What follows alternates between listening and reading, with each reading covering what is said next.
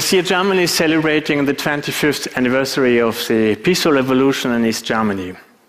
In 1989, communist regime was moved away, the Berlin Wall came down, and one year later, the German Democratic Republic, the GDR, and the East was unified with the Federal Republic of Germany in the West to found today's Germany. Among many other things, Germany inherited the archives of the East German secret police, known as the Stasi. Only two years after its dissolution, its documents were opened to the public, and historians as me started to study these documents to learn more about how the GDR surveillance state functioned. Perhaps you have watched the movie The Lives of Others. This movie made the Stasi known worldwide. And as we live in an age where words as uh, surveillance or wiretapping are on the front pages of newspapers, I would like to speak about how the Stasi really worked. At the beginning, let's have a short look at the history of the Stasi, because it's really important for understanding its self conception. Its origins are located in Russia. In 1917, the Russian communists founded the Emergency Commission for Combating Counter-Revolution and Sabotage, shortly Cheka. It was led by Felix Dzerzhinsky. The Cheka was an instrument of the communists to establish their regime by terrorizing the population and executing the enemies. It evolved later to the well-known KGB. The Cheka was the idol of the Stasi officers. They called themselves Chekists, and even the emblem was very similar, as you can see here. In fact, the secret police of Russia was the creator and instructor of the Stasi. When the Red Army occupied East Germany in 1945, it immediately expanded there. And soon it started to train the German communists to build up their own secret police. By the way, in this hall where we are now, the ruling party of the GDR was founded in 1946. Five years later, the Stasi was established, and step by step, the dirty job of oppression was handed over to it. For instance, the central jail for political prisoners, which was established by the Russians, was taken over by the Stasi and used till the end of the communism. You see it here. At the beginning, every important step still took place under the attendance of the Russians. But the Germans are known to be very effective. So the Stasi grew very quickly. And already in 1953, it had more employees than the Gestapo had, secret police of Nazi Germany. The number doubled in each decade. In 1989, more than 90,000 employees worked for the Stasi. This meant that one employee was responsible for 180 inhabitants, which was really unique in the world. At the top of this tremendous apparatus, there was one man, Erich Mielke. He ruled the Ministry of State Security for more than 30 years. He was a scrupulous functionary. In his past, he killed two policemen not far away from here, who in fact personalized the Stasi. But what was so exceptional about the Stasi?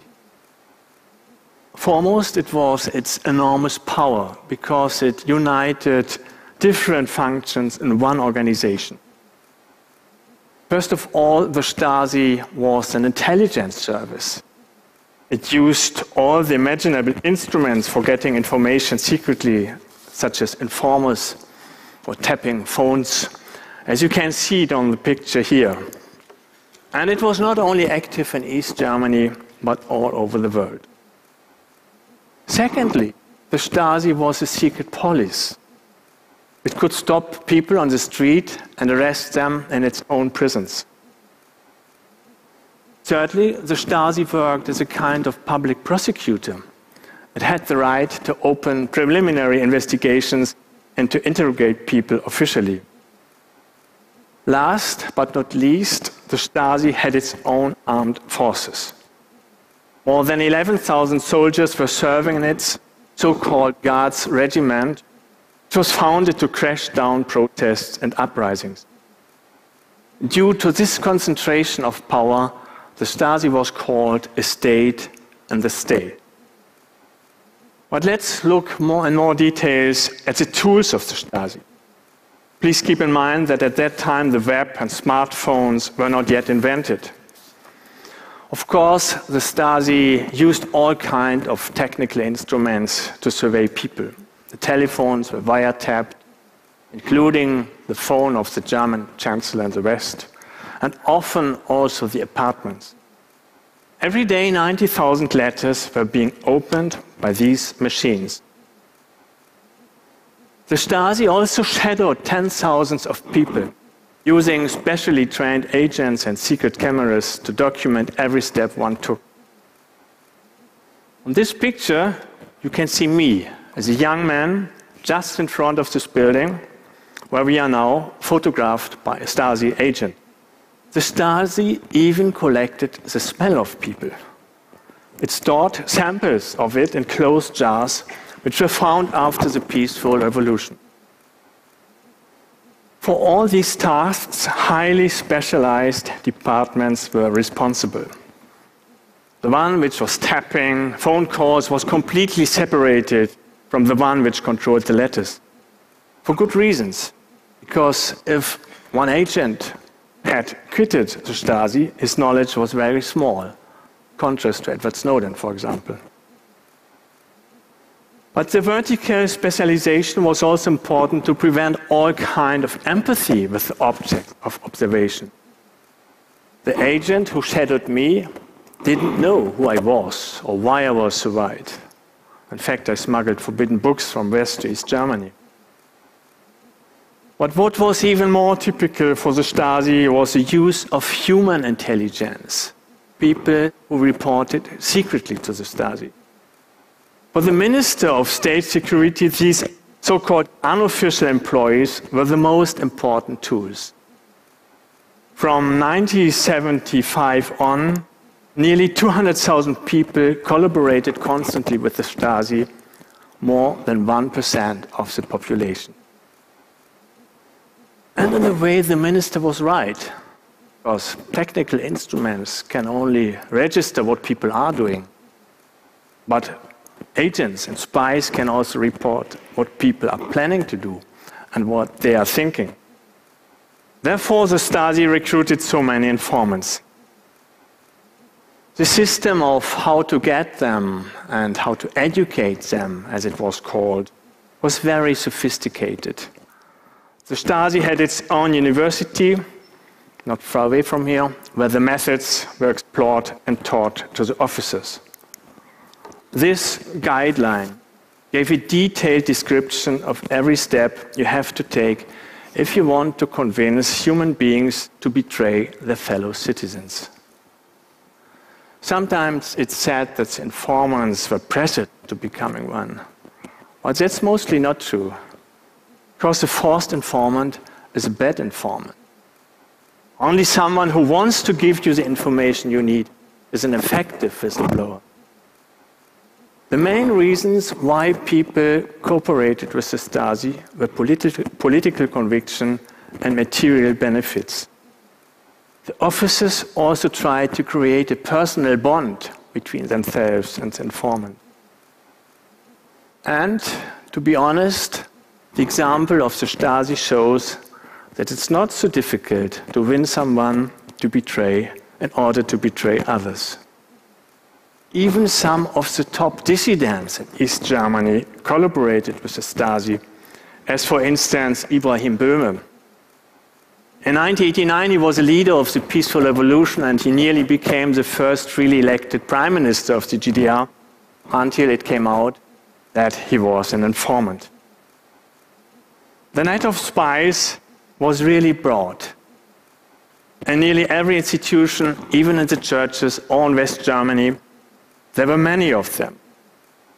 I remember telling a leading Stasi officer if you had sent an informant to me, I would surely have recognized him.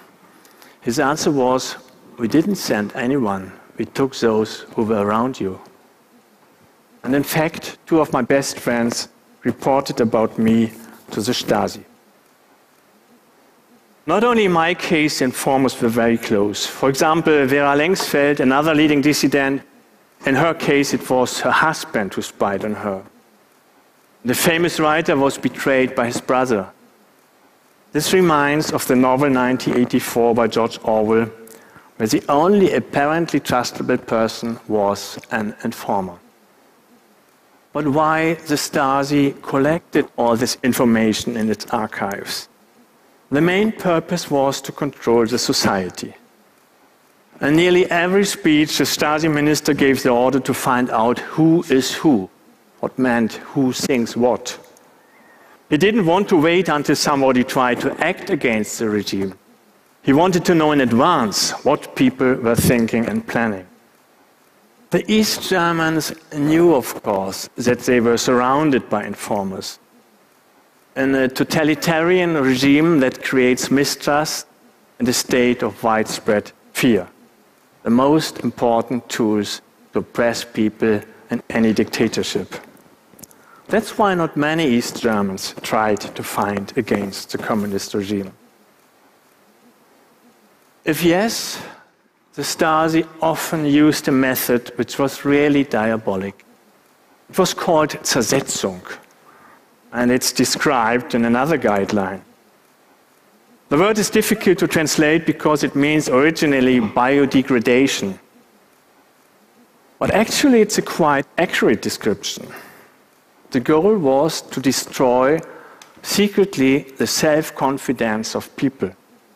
For example, by damaging their reputation, by organizing failures in their work, and by destroying their personal relationships. Considering this, East Germany was a very modern dictatorship. The Stasi didn't try to arrest every dissident. It preferred to paralyze them. And it could do so because it had access to so much personal information and to so many institutions. Detaining someone was used only as last resort. For this, the Stasi owned 17 remand prisons, one in every district. Here, the Stasi also developed quite modern methods of detention. Normally, the interrogation officer didn't torture the prisoner. Instead, he used a sophisticated system of psychological pressure in which strict isolation was central. Nearly no prisoner resisted without giving a testimony. If you have the occasion, do visit the former Stasi prison in Berlin and attend a guided tour with the former political prisoner who will explain you how this worked. One more question needs to be answered. If the Stasi was so well organized, why did the communist regime collapse? First, in 1989, the leadership in East Germany was uncertain what to do against the growing protest of people. It was especially confused because in the mother country of socialism, the Soviet Union, a more liberal policy took place. In addition, the regime was dependent on the loans from the West. Therefore, no order to crash down the uprising was given to the Stasi. Secondly, in the communist ideology, there's no place for criticism. Instead, the leadership stuck to the belief that socialism is a perfect system, and the Stasi had to conform that, of course. The consequence was that despite all the information, the regime couldn't analyze its real problems and therefore it couldn't solve them. In the end, the Stasi died because of the structures that it was charged with protecting. The ending of the Stasi has something tragic because these officers kept busy during the peaceful revolution. There's only one thing to destroy the documents they had produced during decades. Fortunately, they had been stopped by human rights activists. That's why today we can use the files to get a better understanding of how a surveillance state functions. Thank you.